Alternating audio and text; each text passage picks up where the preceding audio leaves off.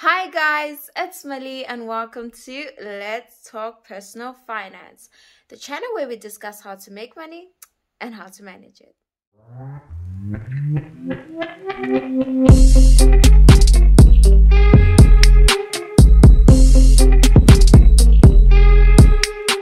In this video, we'll be talking about credit scores, namely what credit scores are, how they are calculated, and how you can improve your credit score. Please note, none of my videos constitute as financial advice. If you're looking for financial advice, please speak to a certified financial advisor. A credit score is a three digit number used by lenders to determine whether or not you qualify for credit, such as a loan or a credit card. Your credit score is based on your credit report, which is a record of your credit history and how you have managed your finances in the past. This allows lenders to assess your level of risk when you apply for credit. You might be wondering so, who calculates credit scores? Your credit score is calculated by a credit bureau, and there are four main credit bureaus in South Africa, namely Experian, TransUnion, XDS, and CompuScan. The Experian credit score ranges from 0 to 705 points. The TransUnion credit score ranges from 0 to 999 points. The CompuScan credit score goes up to 700 points, and the XDS scorecard is out of a possible 1000 points. There are a number of factors that impact your credit score. Some of these factors include repeatedly missing or making late payments on your bond, your phone bill, your credit card, or your insurance. This impacts your credit score negatively as it suggests that you'll miss payments in the future. Defaults, bankruptcy, and court judgments also negatively affect your credit score because they suggest that you can't handle or you can't afford the debt that you have already taken on.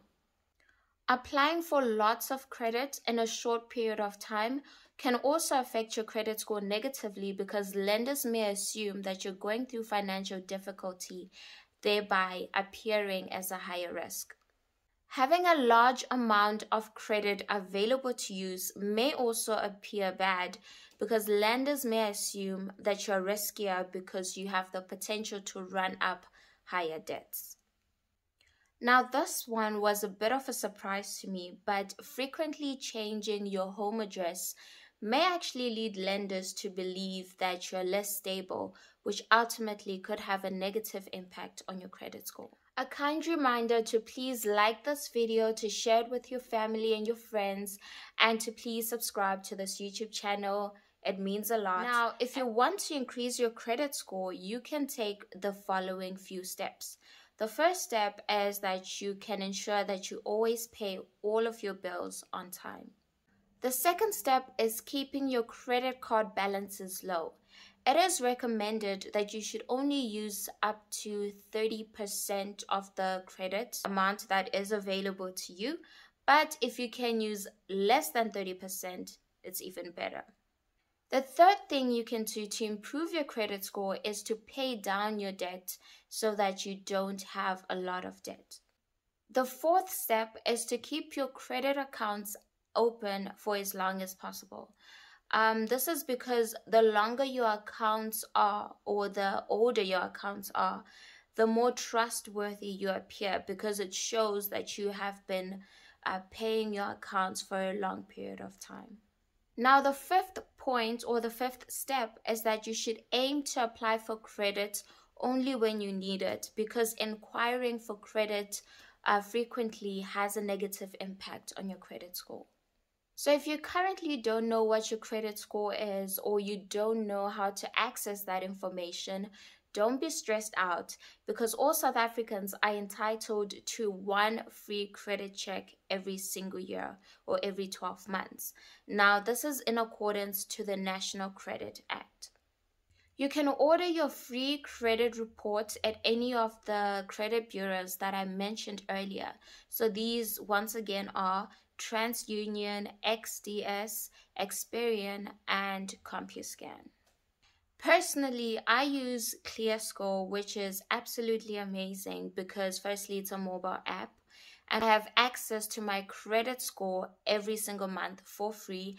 And it's also great because tells me what factors have affected my credit score in that particular month. So if you guys are keen, do check out ClearScore. This is not a sponsorship, by the way. Thank you all so much for watching the video up until this point. Uh, do keep in mind that your credit score is not the only thing that lenders look at when they're considering you for a loan. They also look at your income and your employment history. So you should strive for overall financial awareness in addition to any credit score goal that you might have. And remember, guys, you're never too old or too young to talk about personal finance. Toodles!